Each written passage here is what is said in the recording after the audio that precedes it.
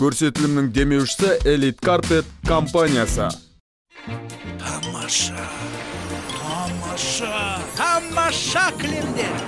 Элит карпет кілемдері төрдің сәні көңілдің жазы шаңырақтың берекесі. Элит карпет қазақстанның барлық аймағында.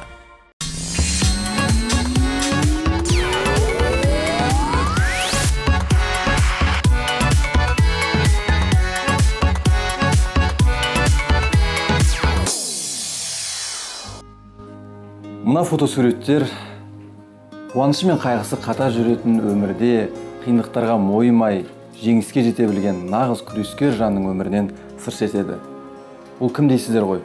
Бұл әрине қазақстан республикасының мәдениет қайраткері өзіміздің бекен римов атындағы облыстық драма театрының талантты әртісі аяулы жар ардақты ана ғалия темірбаева бүгін мейман бағдарламасы ғалия апайымыздың үйінде қонақта. Сіздің суреттеріңізге қарап отырмын.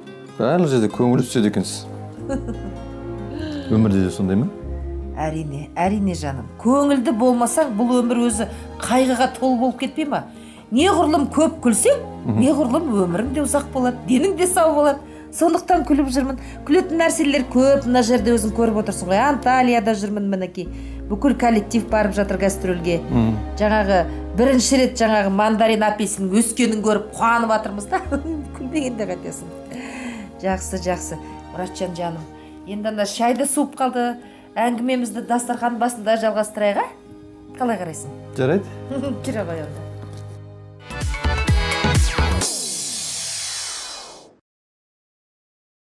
Ғали апай біз ә, сіздің үйіңізге қонаққа келгіміз келіп жаңағы мен хабарласқан кезде сіздің бір бос уақытыңыз өте аз екені көрінді. Жалпы қалай үлгеріп жүрсіз сол сұрақты маған менің әріптестерім де қояды да. Осы театрда зам директорсың. Гастрольдердің бәрін ұйымдастырасың. Одан ә, сахнаға атып шығасың. Одан кейін ана кеттім деп кешке өзіміздің жетісу мемлекеттік университетінің балаларды дайындаймын ғой. Жас түлек деген театрым бар. 15 жыл болды. Соның бәріне қалай үлгересің дейді мен мысалы театрда енді жұмыс болғаннан кейін енді шаршайсың әрине оны өтірік айтуға болмайды ғой. Бірақ мен сол жұмыстан кейінгі уақытта ана студенттермен сабақтан тыс кезінде барып жұмыс жасаймын. Сол студенттермен жұмыс жасаған мен үшін демалыс. Онда әңгімемізді ары қарай жалғастырмас бұрын мына дастархан басында отырған отбасыңызбен таныстыра кетсеңіз иә иә. Менің жолдасым марат мектепте екеуміз бірге оқығанбыз. Ә, оны қызым отыр міне айжан. Ең үлкен қызым. Немерем отыр ана ханиса қарсы алдында отырған үлкен менен үлкен апайым бағила. Осы қазір зейнетте болса да демалмай өзінің ипсын ашып алып жаңағы технадзор болып жұмыс істеп жүр. Та- талай жыл мынау теплосервисде замдиректор болып істеді. Теплотехниканы бітірген политехнический институтта ал енді жолдасымыз екеуміз бірінші класстан бері жүрміз ғой. Міне бірге құдай ау қырық жыл болды ғой бірге жүргенімізге. Содан міне отбасы болып отырмыз. Тәуба тоғжан деген қызым қазір алматыда міне соңғы курста м, бітірейін деп жатыр мамандығын бұйырса психолог болам дейді.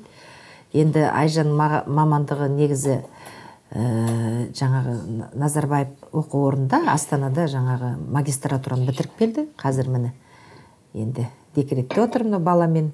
Ә, мен өзім әртіс болдырмадым бұларды. Өйткені өнер жолы өте қиын қыз балаға. Өте қиын. Елдер ойлайды ой әртістердің өмірі мықты гастрольдетіп жүреді өлеңдетіп жүреді деп.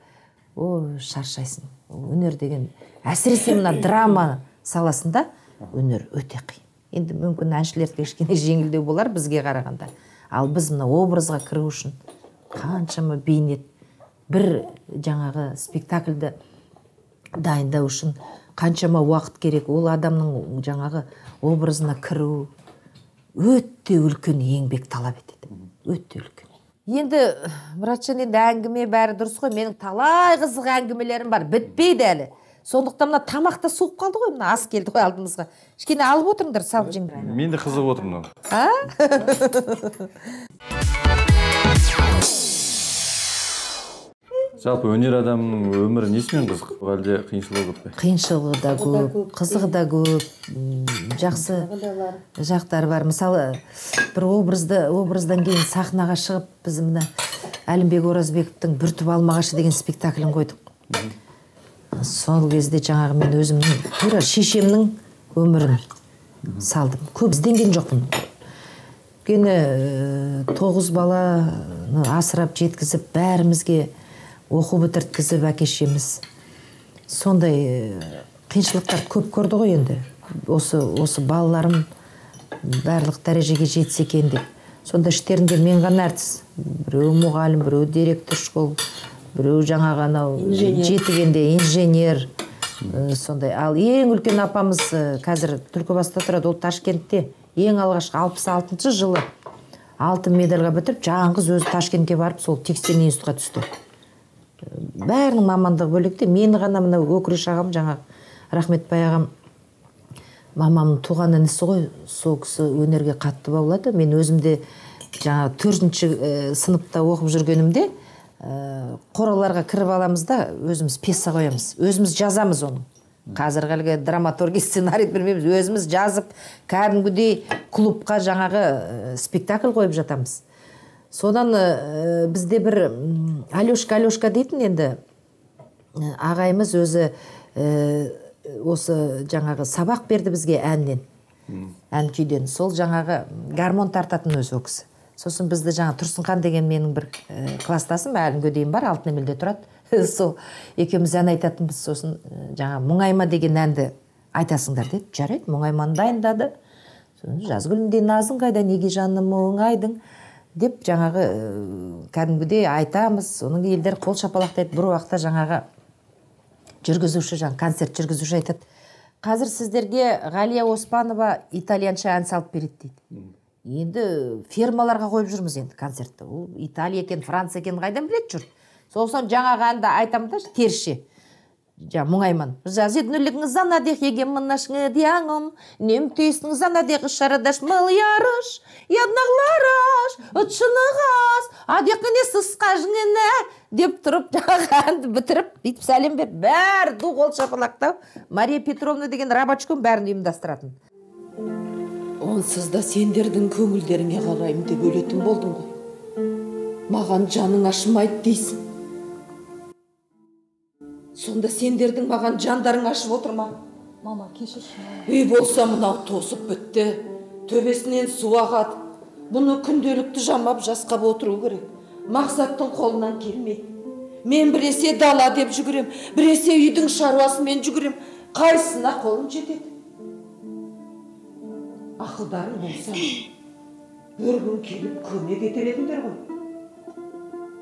Қайта қайта кеп маған ауыртпалықтарыңды кеп артасыңдар кеп артасыңдар кеп маған оңай ғой деп пе едіңдер? Онсыз да мен сендерді ойлаймын деп өлетін болдым ғой. Үйлерің жоқ болса осында келіп тұрыңдар. Әне қаншама бөлме қаңырап бос тұр. Алматы алматы дедіңдер де қалдыңдар. Құдды бір алматыда біреу сендерге алтын беріп жатқандай. Биыл ә, құдай қаласа мына театрымыздың қырық жылдығы. жетпіс бесте ашылдық биыл он бесінші жыл. Мен жетпіс сегізінші жылы келдім театрға. Содан міне отыз сегізінші жыл. отыз жеті ғой енді толық отыз сегізге кетті енді. Сол енді театрдың біз ә, кезінде үш айлап жаңа гастрольдік сапарға кететінбіз. Сонда қазіргідей жақсы автобус жоқ. Жаңа кубань кабз автобустар иә не жаңағы қазіргі қазіргі жастар үш ай тұрмақ бір айға әрең шыдайды. Енді мүмкін қазір ә, жаңа өмір сондай шығар талаптар өзгерген шығар. Біз сондай кішіпейіл болыппыз ба? Ешкімге жаңағы айтпаймыз ғой ешқандай проблемаларымызды. Жаңағы кабз деген өзі қақиып отыратын автобус қақиып отырасың. Сонда сонау анау ақтөбе қырғыз барлық жерді араладық қой сол. Сосын жаңағы о о кезде қазір енді аллаға тәуба қай ауылға барсаң да жаңа қонақ үй бар. Ол кезде қонақ үй де жоқ. Отырамыз ана контордың алдында. Қай уақытта бізді үйдерге бөледі екен? Кім алады екен бізді деп. Сосын үйдерге бөледі. Мысалы бір 15 әртіс болсақ бес бестен жаңағы үш үйге ол үйді бөліп болғанша одан жаңағы үйді бөлгеннен кейін ә, кір жуып алғымыз келеді енді қыздар болғаннан кейін. Ақырын кіреміз де үйге кіреміз де бүйтіп қараймыз бізді қалай қарсы алады екен деп. Егер де жаңағы үйдің иесі күліп қарсы алса осы бізде осы маймақ ағып осы «ә, апай ә, кішкене ә, кір жуып алсақ бола ма басымыз жуып алсақ бола ма дейміз. Ал кейбір жерге келгенде енді жақтырмайтын адамдар да болады енді адамдар ол әрқалай ғой? Жақтырмайтын жерде тып тыныш келеміз де қолымызды ғана шайып осы бүйтіп отырып рахмет рахмет деп төсегімізді салып жата қалатынбыз. Ал енді жақсы үй иесі кездескенде жаңағы өлеңімізді айтып сондай бір керемет бір творчестволық әңгіме тартып сөйтіп отыратынбыз. Үш айдан жүретінбіз ғой үш айдан. Аралап анау ақтөбенің жолдары қандай ырғыз. Одан жаңағы сұмдық енді. Бір жерде өрт болып жатты сол кезде. Боталар өртеніп жатты ол кезде біздің жаңағы администраторымыз жаңағы алтын марқұм алтын ружева деген қазақстанның халық әртісі сол кісі бізді апарды сол жаққа. Ой талай қиыншылықтар болды. Кейбір клубтарда жағдай жоқ. Э, төбелер тесік клубтарда да ойнадық. Небір сондай бір қиын заманды бірақ біз оны қиын деп ойлаған жоқпыз. Мүмкін сол жастық э, сезіммен жастық жігермен жүрдік ба әйтеуір. Үш айлап үй көрмейміз ғой тоқсан күн. Сол кездің өзінде ол кезде бикен апаның аты берілген жоқ болатын. Бикен апаның атын бертінде бізге болат атабаев деген режиссер келіп абай әйгерімді қойды. Сол кезде бізден сұрады да сендердің атты құр театр ма? Театрдың аты жоқ па? деді да сосын жоқ аты жоқ. Неге бикен апам атын қоймайсыңдар? Ол кезде марқұм анау әкім бізде нұрқадылов болған заманбек аға. Соған барды да үш ақ күнде барды да бізге бикен апаның атын бергіздірді болат атабаев. Ең басында келгенімде бек тоғысбаевтың ақын сара деген пьесасын қойды. Сонда жаңағы домбыра тарта алмаймын да ән айтамын домбыра қонбады. Мынау әпкем де баянда тартады ионикада да ойнайды бүкіл інілерім домбыра тартады гармон тартады бай- маған қонбады де. Сонда жаңағы ақын сараны мен шешесіне түстім. Жиырма жасымда ойнадым. Ақын сараны жаңағы қазір өзіміздің қазақстанның халық әртісі алмахан кенжебек ойнады. Сонда жаңағы гастрольдетіп жүрдік қой сол сол спектакльде ғали апай мектепте жүрген кезде сол мектепті бітіргеннен кейін осындай өнер жолына түсемін деген ой иә жаңағы айттым ғой өкіреш өзімнің жаңағы нағашы ағам ғали әртіс болуға тиіс. Мен енді негізі осы талдықорғанда мусбаққа түсіп жатқам төртінші экзаменнен алып кетті ғой үш экзаменді тапсырып төртінші экзаменде жоқ сен театрға ә, театрда істеуің керек сен музыкант емес деп.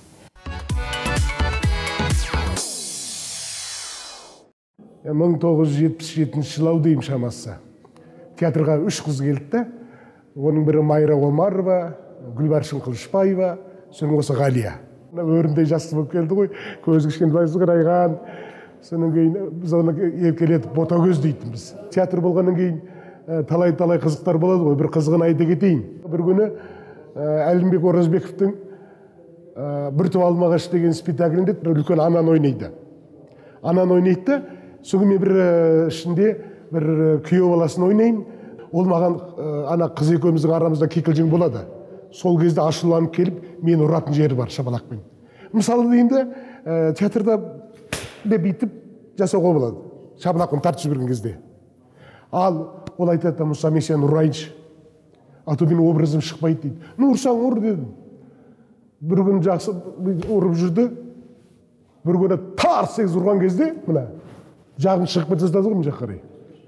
Соны айтамын ғалия айнал айнау ақырын ұрмайсың ба? десем мұса кешірші мен беріліп кеттім образға дейді. Мен айтамын е ғалия егер мысалы пышақ салатындай сондай не болса онда сен пышақ сала аласың ба маған?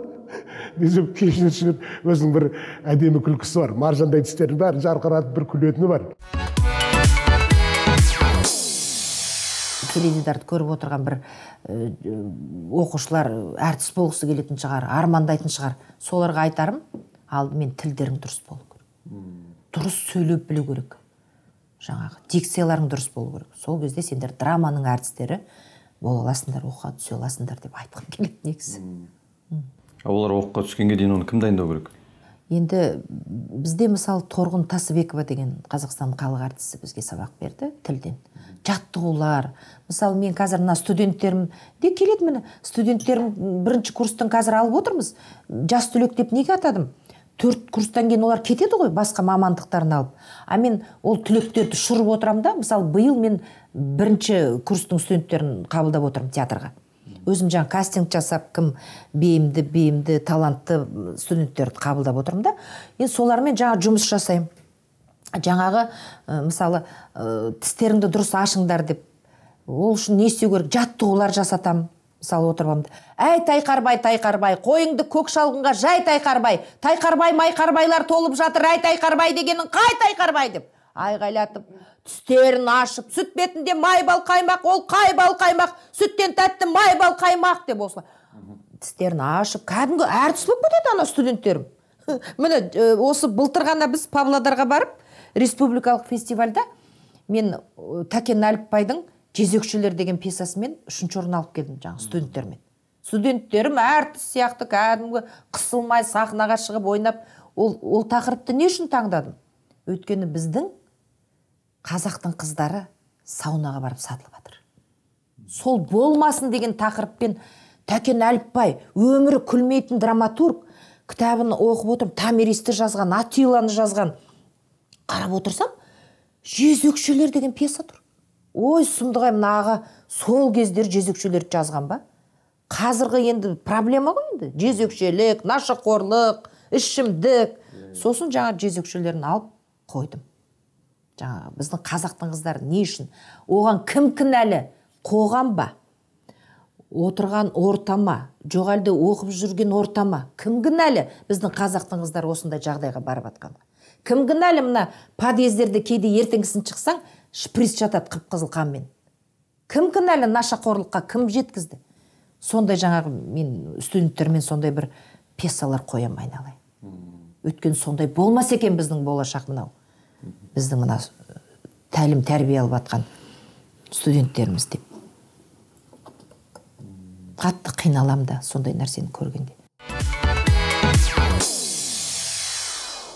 Бағила апай мына ғалия сіңліңіздің жаңағы қандай бала болғанын енді сіз жақсы білетін шығарсыз.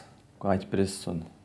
Ғалия сіңілім өзі кішкентай бала кезінен көшеге отырып алып тұрып айғайлап тұрып өлең айтып отыратын. Аузын жапсын сосын көршілерге де айтады ой мынау қыз тек аузын қашан жабады екен ылғи көшеге шығып айғайлап отырады деп сосын ана ә, апамыз марқұм ұрысатын әй тиіспеңдер менің бұл немерем кейін әртіс болады әнші болады деп. Сол кезде өзі кішкентай әлі мектепке бармастан жатып сондай өлең айтып ә, жүретін. Бүткіл көршінің балаларын түгел жинап алып тұрып қора жаққа барып концерт қоятын ә, сондай бір өздері спектакль қоятын өзі сол адамның әлгі бала кезінен ә, кезінде өскенде қандай болады ә, деп ойласаң сол бала кезінен мынау ә, білінеді екен.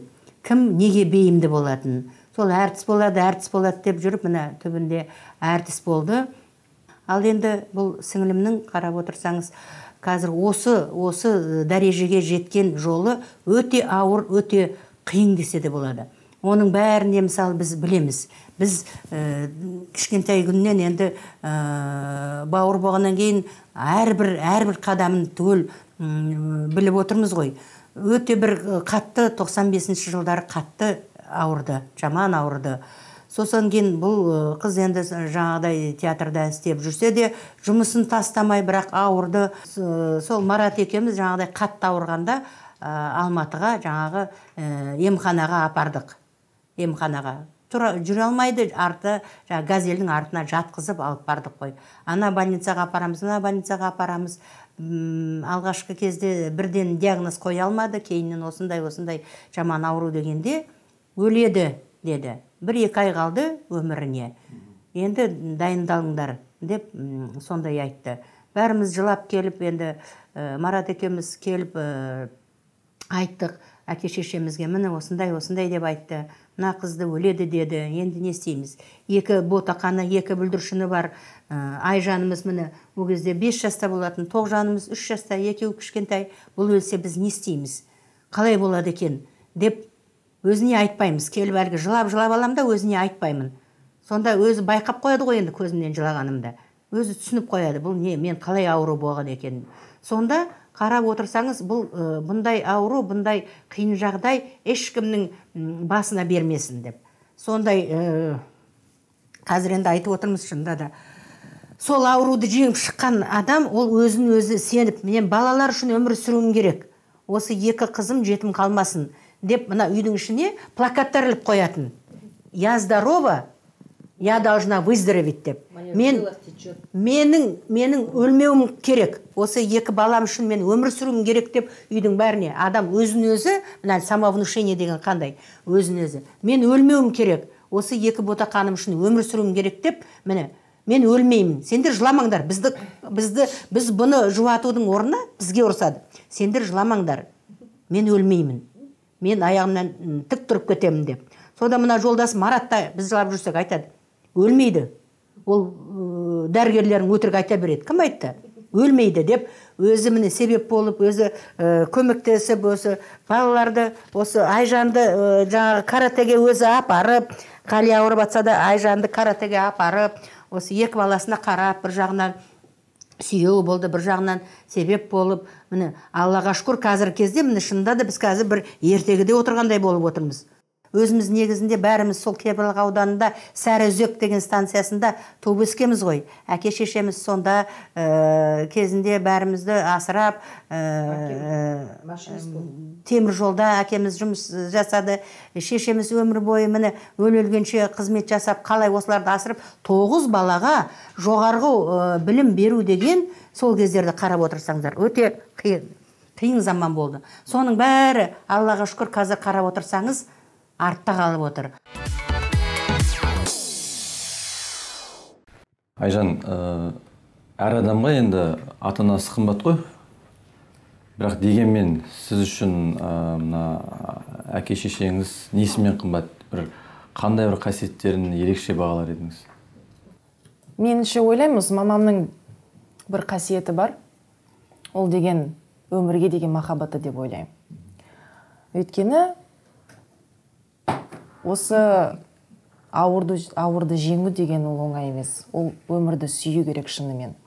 Өмірдегі ә, сондай жары бар мысалы әкем екі қызы бар. Әріптестері достары туысқандары солардың бәрін соншалық жақсы көрген деп ойлаймын. Осы осындай ауруды жеңді. Есімде әрі осындай бейне бар. Мен 5 жастамын сонда мамам төсекте жатыр. Мен қасына келемін да айтамын мамам маған бір әріптерді үйретші мен газет оқиыншы дедім да. Сонда қатты қиналып жатқан ғой. Қойшы сен а айс б барабан в волк болды деп маған осылай түсіндірді да азбукаға қаратып сөйтіп әріптерді а айс б барабан в волк деп солай үйрендім. Сонда қолыма ең алғашқы рет сол құран кітабы келген екен. Сол орыс транскрипциясымен. Соларды оқып отырмын мамам жылап отыр не болды мама десем. Сен мынау кітапты қайдан таптың дейді да. Осында жатқан дедім осыны оқып отырмын дедім. Сонда мамам жылап сонда сенің бірінші кітабың әліппе емес сонда құран болды деп.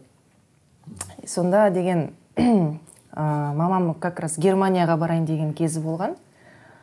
Енді кішкентай сіңілім қасында сонда айтқанмын мен тоғжан енді мен ақырын шет жағасын білдім мамам қатты ауырып жатқанын айттым тоғжан мамамыз ұшады аспанға кері қайта ма қайтпай ма ол сол бір алланың әмірі болады дедім да біздің мақсатымыз алланың да жүрегі бар ғой екеуміз сұрайық дедім алладан. Бізге кері қайтсын деп. Сонда. Иә айттым алла тағала маманың кінәлігін кешір бес жасында кінә екен не екенін білмеймін әйтеуір естіп алғанмын сол кінәні кешірсе сонда мама қайта кері келеді деп. Сонда жылаймын. Тоғжанға да айтамын «Ә, мүмкін мамам сол алланың көмекшісі болатын шығар сол жерде қалып қойса да екеуміз жыламаймыз дедім да. Бірақ кері қайтса аллаға рахмет деп айтамыз. Деп екеуміз қолымызды былай ұстап осылай отыратынбыз. Господи господи маманың күнәні кеш. Бізге кері қайтсын деп. Сол әлі есімде тоғжан да күліп соны есімізге түсіріп күлетінбіз. Сол ойлаймын өмірдегі махаббаты өмірге деген сон- сол, сол арқылы осы ауырды жеңді деп. Екіншіден мамам өте, өте сабырлы адам қандай оқиға болсын сабырлықпен қарайды. Бізге де әрқашанда үйрететін. Не болсын тез ойланып тез бір шешімін қабылдауға асықпаңдар деп кішкене ойланыңдар. Сабыр болыңдар сонда ә, жақсы бір жолды таңдайсыңдар деп. Және үшіншіден мен ойлаймын осы м, мақсатқа жету орындарын табу бұл да маманың сондай жақсы бір қасиеті бізге де сөйтіп үйрететін.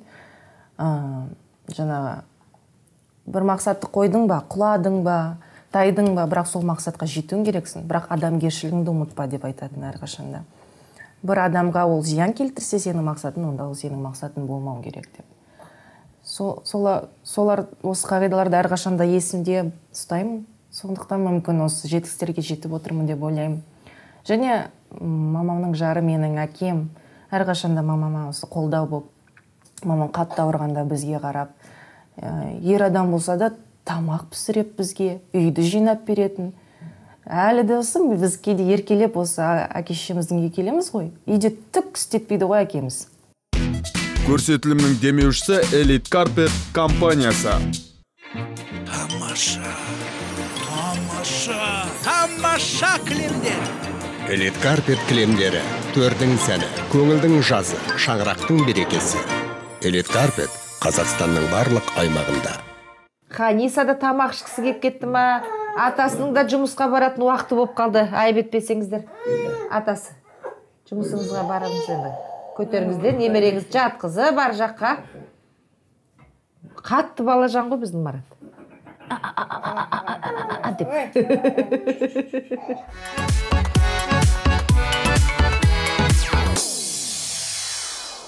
Ғалия өзі бір ақкөңіл ақжарқын ә, сондай жақсы адам. Оның көпшіл ә, елменен қарым қатынас жасағанда әңгімелескенде сондай ә, жақсы көреді.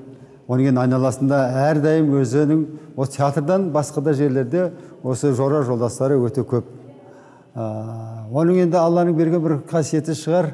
Өзінің алдына қойған мақсатын міндетті түрде орындауға тырысады. Бұл ұйымдастыру жұмысын жақсы жасайды. Қазірет пен театрдың енді мінекей сол көрермендер жағындағы ә, орынбасар болып қызмет істейді. Ә, бұндай жұмысқа келгенде ол алдына енді жан салмайды. Шыны керек. Біздің театрымыздың көрермендерін жинап осы театрда біздің әр қойылымымызға залымыздың көрерменнен толып отыратын болса ол осы біздің ғалияның арқасы. Ол жағына келгенде ол шаршамай талмай жақсы қызмет етеді. Ғали апа жаңағы бір ауыр кезеңдерде сіздің ішкі жан дүниеңізде не болып жатты ішкі жан дүниеде екі баланы ойладым. Шын, шыны керек қой өзімді ойлаған жоқпын. Екі бала үшін мына екі қызым жетім қалса не болады кім қарайды оған?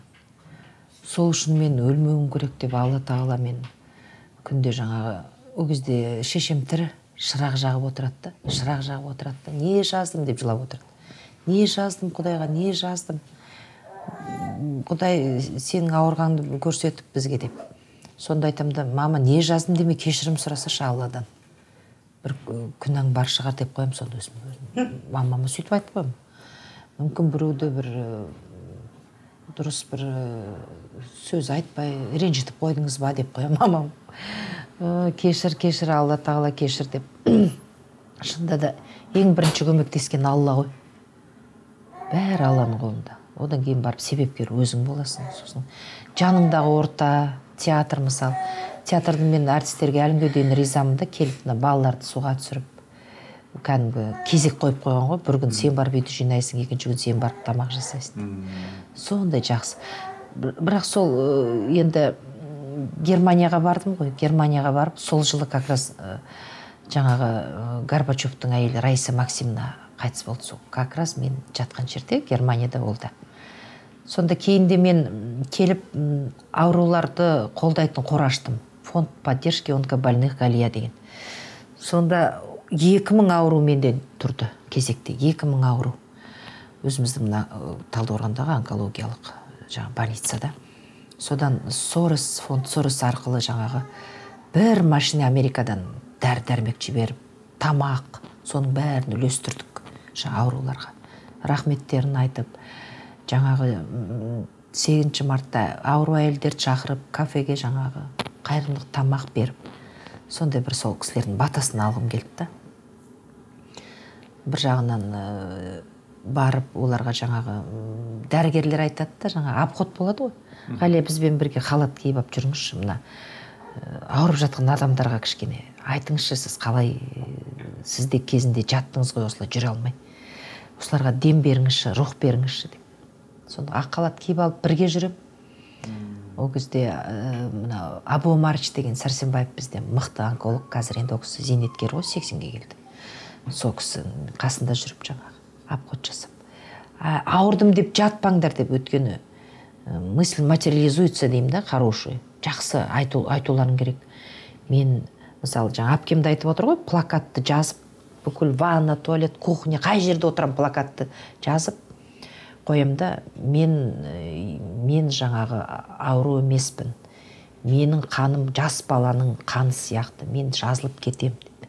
Сөйтіп тәуба көптің тілеуі тілеу бүкіл театр жылап бәрі тілеуін тілеп. Жаңғыз біздің театр емес тұңғышбай аға менің мұғалімім сәбит оразбаев бүкіл театрлар көмектесіп мысалы мен ә, германияға өз ақшаммен барған жоқпын оны да айту керек. Барлығы көмектесіп счет ашып сол жақта. Ә, бүкіл министрлер көмектесіп. Бүркітбаев деген министр болған. Ол кісі тіпті менің жолымды ары бері төлеп. Министр транспорта. Транспорта коммуникация бүркітбаев деген кісі болған. Сосын мынау министр культуры ол кезде сәрсенбаев марқұм ол кісі көмектесіп бәрі сол счетпен германияға ақша жіберіп. Сонда германияға барып не жоқ ә, жаңағы мешіт жоқ. Шіркеуге бардым сонда. Органный музыканы тыңдау керек деп біреулер айтты да.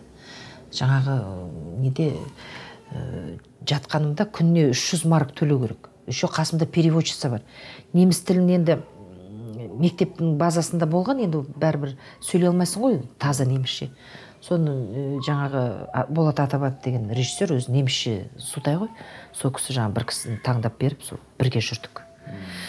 Сонда жаңағы оған 300 марк төлеуім керек жаңағы переводчицаға. Аудармашыға одан өзіме 300 күнде 600 марк еще емге 300 марк төлеу- төлеуім керек. Содан жаңа шіркеуге барсам бір орыстың әйелі вы казашка? дейді маған иә казашка сіз қайдансыз десем мен қарабұлақтың немісімін ғой дейді қарабұлақтан көшіп барыпты. Сол маған бір адресті беріп осындай жерге барсаңыз сізден ақша да алмайды деп. Сонымен әйтеуір мен көрмегенім жоқ қой мен қайдан білейін? Кілең әйелдер феминистическое движение дейді еркектерден қорлық көргендер деп аталады екен олар. Сол жерде жатырмын ғой қырық бес күн жаттық. Мен білмеймін ғой бір күні бір стол жасап өздері бір қызла, қызыл вино жаңағы пиво бәрін ішіп жатыр бір уақытта бір бірімен сүйісіп құшақтасып сөйтсе олар әлгі лесбиянкалар қазақшасын білмеймін не деп айтады солар екен. Сол қырық бес күн тұрдық қой солармен астапыралла ой пырмай маған айтады зинген фрау мені енді маған вас Sie деп мен айттым. Ich bin schauspielerin von Beruf деп қоямын. Я по профессии актриса деп қоямын сосын зинген фрау бүйте бүйте өлең айтты сол кезде мен отырып алып тұрып құстар құстар сызылтып ән салады деп айттым. Десем балалар жылайды. Немістер жылайды жаңағы өлең. Масқара сондай қызықтар болған. қырық бес маған әйтеуір бесплатно тұру керек болды. Ертеңгісін кешке жаңағы тумер центр дейді ана онкологический центр германияда.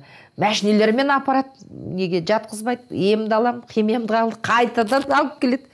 Сөйтіп бір не бір э, күлкім келеді ғой қазір ол кезде жылағым келеді сонда. Одан емделіп келгеннен кейін театрды таяқты тастадық. Как раз астанаға гастрольге шығару керек болды. Сол кезде бізде жаңа астанаға гастроль жасайсың ғалия сен енді администратор болып барасың деді. Кеттім астанаға келдім. Не істерімді білмей ешкім танымаймын. Билеттерді қайтып өткіземін. Содан көп ойланбай парламентқа келдім. Парламентке кірдім да болат такенов деген бізде жаңа депутат сол жерде мәжіліс болып жатыр екен. Сосын қызыл зал дей ма красный зал дей ма сосын айттым остановитесь дедім. Парламентке чувство страха қорқыныш деген жоқ қой менде. Таң қаламын ғой. Қазір ойласам қазір кіре алмас едім мен сөйтіп. Остановите! деп ана мәжілістің бәрін тоқтатып қойып микрофонға бардым да айттым. Құрметті делегаттар мынау алматы облысының талдықорған қаласының депутаттары біз міне алматы облысынан сіздерге міне келіп отырмыз гастрольдік сапармен. Біздің билетіміз сол кезде 250 теңге. Әрқайсыңыз екі жүз елу теңгеден билет алыңыздар. Бүгінгі спектакльге деп кәдімгі қақылдап. Содан кейін ана болат такенов бәрі ана біздің талдықорған депутаттар түгел атып шықты. Ойбай ана болат такенов айтады галия я перед тобой шляпу снимаю даже роза рымбаева так не заходила. Ты, ты, ты как это зашла? Как ты остановила? Дейді да маған мен мен қайдан білемін мен театрға билет өтпей жатыр. Сендер депутатсыңдар менің ойым сол содан кейін «А, что мы можем еще сделать? Деді уже енді э, жаңағы микрофонсыз болат такен что можете сделать? Қазір кешкісін дедім. Әртістерім пойызбен келеді. Соларды қарсы алыңдар. Мына не ужин беріңдер парламентте? Скиньтесь там по, по тысяче по две тысячи что это для вас дедім содан олар бар ғой до такой степени. Бес мыңнан жинады он мыңнан жинады парламентте ужин жасады ғой? Мәшіне парламенттің автобусы ана неге вокзалға қойып қойды. Әртістер бәрі автобусқа түсіп парламентте ужин. Әлі күнге дейін айтады ғой. Сен сұмдықсың ғой. Сол кезде деп. Ана азат деген әртісіміз бар ғой базаркелді сол айтады ғой сен жанына дығарсың әй жанына дығарсың деп. Мен айттым мен қайдан білейін сендерге әйтеуір бірінші рет гастроль жасап тұрмын дұрыс болса екен деп депутаттарға барғаным ғой деп. Сондай қызықтар болған гастрольде. Еңбектің арқасында осы әпкелерім арқасында туысқандарым коллективім арқасында осы өнерге қайтып оралғаныма қуаныштымын өзім. Сондықтан да жаңағы өмірге деген көзқарасым ерекше. Әр күнімді әр таңымды ой алла тағала тәуба тәуба тәуба осы өмірге келгеніме алла тағала тамақ ішсем ертеңгісін болсын кешке болсын. Алла тағала ас бергеніңе тәуба қылдым. Алла тағала денсаулық бергеніңе тәуба қылдым деп айтамын қызық болды. Мен осы бір екі жылдай осы ененің образын сомдадым да осы сендердің телевидениеда соны бір күні магазинге кіргенмін нан алуға бір. Магазинге кірсем магазинші маған бір оңбаған қатын екенсің дейді маған содан кейін мен түсінбей қалдым. Не, не сіз не айтып тұрсыз дедім. Ей сен ана телевизордағы енесің ғой келіндердің мазасын алып бітірдің әбден дейді мама мама алламға қарай тұрыңызшы бір сағат мен приемға барып келейінші анализ тапсырып. Сен не көрмей тұрсың ба мен қонаққа дайындалып жатырмын. Өзім бірге ауруханаға алып кетсем қайтеді алып ауруханаға бірге барса ұят қой енді сіз қонаққа алып кетіңізші бірге. Қалқам ау қонақты ол мені отырғызады ғой дейсің ба? Үстелден бәрін бүйтіп бүйтіп кәмпиттің қалтасынан алманы салып ұят емес пе маған? Мазамды әбден алады ғой. Ту мама енді бірінші рет сұрап тұрмын ғой осы сіздерден. Ерлікте ана осы қарамайды. Тамақты ішесіздер де кетіп қаласыздар тұрып қарайласпайсыздар да. Төркінімнен алып келген жоқпын ғой бұл баланы да немереңіз ғой сіздің. Ты смотри. Моя дорогая отыр. Мен не? Жалғыз өзім. Ата енем де көмектескен жоқ баланы өзім әкесіз жеткізіп тәрбиеледім. Сендер немене маған міндет қыласыңдар а? Қуаныш та болды бір қиыншылық та болды. Негізі өмірден осы күнге дейін түйгеніңіз не? Өмір деген өте тәтті ғой. Өте тәтті. Ол өмірде жаңағы ә, жаңа қызым да айтып жатыр ғой бір мақсат қоясың мақсатқа қалай жетесің деп. Қандай жолмен жетесің? Сүрінесің құлайсың. Қызықта кездері болады құлағанда кездерің болады бірақ мұңаймау керек та жаңа өмірді сүю керек. Мен өйткені өзім мысалы сондай қиыншылық жаңағы өлім мен өмірімнің ортасында арпалысып арпалысып келген адам болғандықтан ба мен өмірге өзгеше қараймын. Кейбір адамдар бір ренжіп отырады бір нәрсе бір нәрсені жетпейді деп тоймайды бір кейбір адамдар болады енді бес саусақ бірдей емес қой. Ананы алсам екен ананы алсам екен ол аз болып тұрады бай байыған сайын қалтырап мынаны алсам екен дейді. Сол адамдарға кішкене барлығы бар адамдарға кейде ойлаймын неғып осы кісілер тәуба демейді. Тәуба тәуба деп наоборот мына жастарға кішкене ақыл айтып осылай осылай бәрін бәрін ана жаққа алып кетпейсің ғой. Бір ақ матадан басқа ештеңе бұйырмайды. Соны ұмытпасақ дейсің енді келе жатқан болашақ сіздер сіздердің жағдайларыңыз дұрыс болса екен деп тілейміз. Алла тағала сол тілеуіміз жетсе сол бізге өмірдің ең қызығы сол. Әлия апа енді өмір деген расында бір сол ә, әртүрлі бір кезеңдерден тұрады ғой. Қиыншылығы да болады қуанышы да болады. Дегенменен де осындай жаңағы өмірдің қиыншылығына мойымай сынағынан сүрінбей өтіп біздің ортамызда бүгін жүргеніңізге біз қуанамыз. Рахмет айнұр енді ә, сіздің осы күрескерлік жаңағы ә, бір қасиетіңіз ол басқаларға үлгі болады деп ойлаймын. Иә бүгін дастархан жайып бізді өстіп қарсы алып қонақ қылып жатқаныңызға рахмет. Ә, бала шағаңыздың ә, марат аға екеуіңіз қызығын көріңіздер. Мынау тәрбиелеп жатқан шәкірттеріңіз биіктерден көрінсін.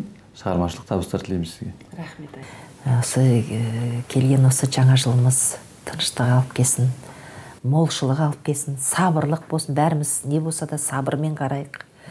Енді менің ә, әртістің айтатын тілегі ол сіздерді құшақ жая бекен римова театрында күтеміз. Біздің көрермендеріміз болыңыздар. Біздер жақсы жақсы сіздер үшін спектакльдерді шаршамай қоя берейік. Сіздер келе беріңіздер. Ал сіздердің мынау жетісу телеарнасында сәттілік тілейік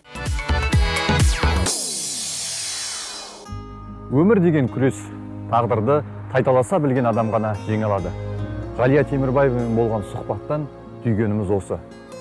Келесі бір қасиетті шаңырақта жүздескенше мейман бағдарламасы сіздермен қоштасады. Аман сау болыңыздар.